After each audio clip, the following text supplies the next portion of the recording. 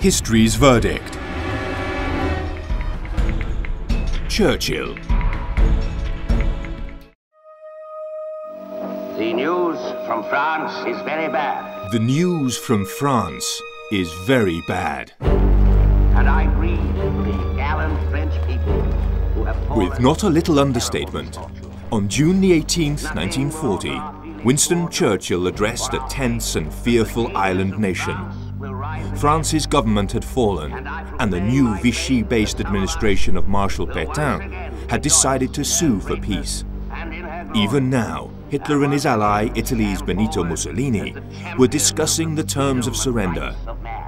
Churchill faced a catastrophe, and the future of Britain looked bleak. Five weeks earlier, on the 13th of May, three days after his hasty appointment as Prime Minister, Churchill had offered his nation I have nothing to offer but blood, toil, tears, and sweat.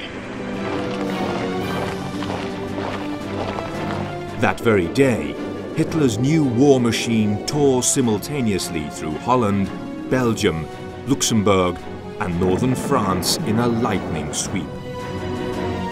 But then, though events had been critical, Churchill had more than rhetorical or literal bodily fluids to shed for his country. He had at least the comfort of a strong alliance of two of the world's greatest military powers. And he had the seemingly invincible British Navy. Then there had been no doubt of his intent, and it had still appeared realistic. You ask, what is our aim?